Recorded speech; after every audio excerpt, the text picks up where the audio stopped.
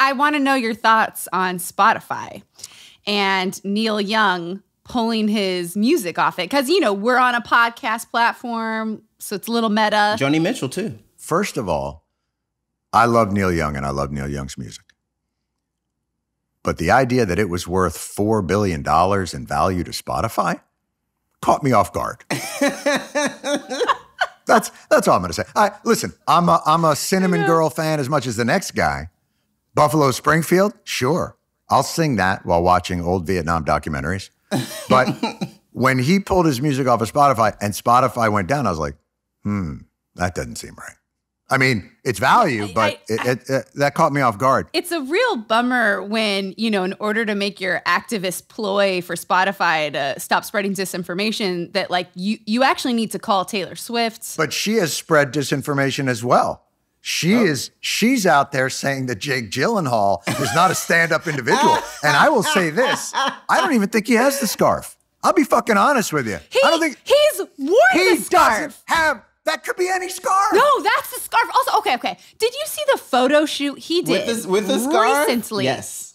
With the scarf on and her little red glasses, he did a magazine spread. What else can he do? Taunting What else can he The do? song. What else? Jon, I He could do Jon, nothing. this is the first time I'm gonna say this, but Mm, listen, I have fought like the online legions for you, but Mm. I do not fuck around with Swifties. So you are on your own. Absolutely. boss. Swifties will find where you live. You know, everybody talks about woke cancel culture and the online mobs. You haven't stepped in shit until you've stepped to One Direction or BTS or Taylor Swift. I don't care if you're a political activist on the right or the left. You have no idea. I've I've gotten less I've gotten less blowback from Israel Palestine than I did for like a One Direction joke. But let me let me go back to your your your original point, Chelsea, which is how do you feel? And and this is going to be a blanket statement. Okay. And I would say this don't leave, don't abandon, don't censor, engage. I'm not saying it's, it's always going to work out fruitfully, but I'm always of the mindset that engagement, and especially with someone like a Joe Rogan, who is not, in my mind, an ideologue in any way. And I think the, the proof of that was I don't know if you remember, there was a guy uh, who went on his podcast named Josh uh, who, who had, they were talking about, I think Joe said, myocarditis. Kids shouldn't get the vaccine because it causes a, a higher risk of myocarditis. And Josh said, well, actually, getting COVID is a higher risk of myocarditis for kids, so they should get vaccinated. He said, no, it's not. He said, no, I think it is. He goes, mm, no, I'm pretty sure it's, it's the other way. And they looked it up. And when they looked it up, it came out that it's a much greater risk if you get COVID and you're, you know, eight to 12 or six to 15 or whatever the age range was. It's a much greater risk of myocarditis catching COVID than it is getting the vaccine. And if you are an ideologue or if you are a dishonest person, that is the moment. Like Tucker Carlson in that situation never would have looked it up and would have given that look he gives like somebody's giving him a confusion enema. Like they're just like like they're just firing confusion up his ass. And Joe just went like, "Oh, I didn't know. Oh, okay, I didn't get that." And, and that to me says, "Oh, that's a person that you can engage with." And so I, hmm. I I think all the overblown rhetoric about him. And here's the other thing: like you're a musician. Like, how much misinformation is spread by, like, Eric Clapton is on platforms that you're on, and he's a fucking psycho. so, do you remove yourself from every platform? By the way, do we only do these conversations so that I will get in trouble? Yes, I think that's Yeah, all we say- do now. Is we go, Jon. Who What do do you, you want to piss off today? Neil Young fans, you know Taylor what? Swift fans, I- or I lo- Eric Clapton fans? I, I love them all, but my point is we all exist in this world and on this planet. And there's no question that there is egregious uh, misinformation that's purposeful and hateful and all those other things. And, and that being moderated is a credit to the platforms that run them. But this overreaction to Rogan, I think is a mistake. I really do. And, and Do you think it gives him power to react in this way versus if you actually wanted to say something no, against his? Joe Rogan has power because so many people listen to him. But that and pow- because of the elk meat. let, let- let me go back because because you're right, Jay. Jay Rogan has power because of elk meat, and that is what allows him to have the energy to have all the. But he has four hour conversations, and they are expansive. And he may say some things that you think is misinformation, and he may platform people that you think are wrong. But to single that out as something so egregious as to have to be, I, just don't. I think there are dishonest bad actors in the world. And and identifying those is so much more important to me. Uh, and I also think sometimes those grand gestures of I'm removing myself doesn't necessarily take into account like you're on Comcast, right? Comcast or Time Warner. So if you're on any cable station, right?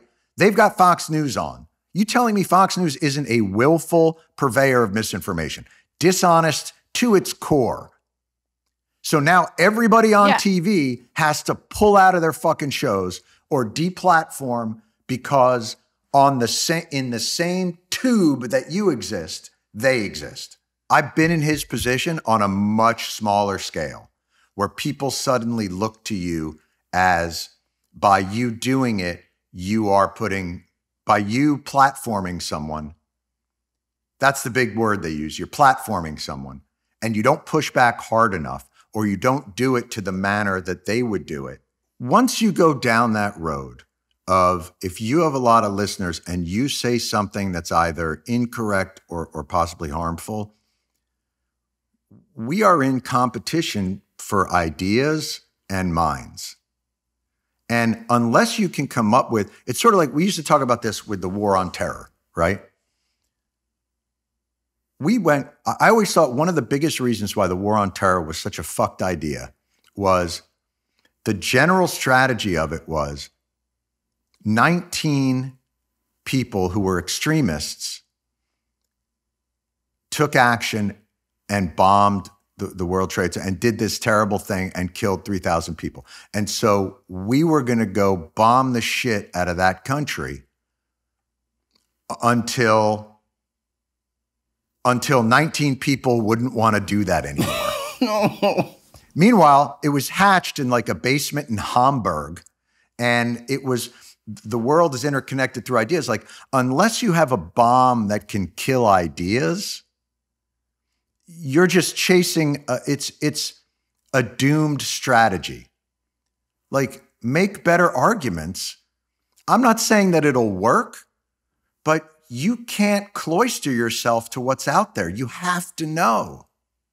You have to. Yeah, that's a that's a good point. And I, to a niche point within that, I'll say is that, and this is something that I I struggle a lot with with my internet content is that when you are one of the people with a platform speaking and you travel in the waters of empathy, wanting to do better, wanting to do the right thing, and you mess up, uh, people react way differently than if Joe Rogan traveling in the waters of like, let's, you know, uh, maybe vaccines are bad for you, don't take them. Like he could mess up and will never face consequences in the way that if you're known for uh, trying to do the right thing, you will face intense consequences. Like the scale is off. Chelsea, if I go on Twitter, uh, there's not, I don't have to go on there more than 30 seconds before I can find somebody letting me know what they will never forgive me for.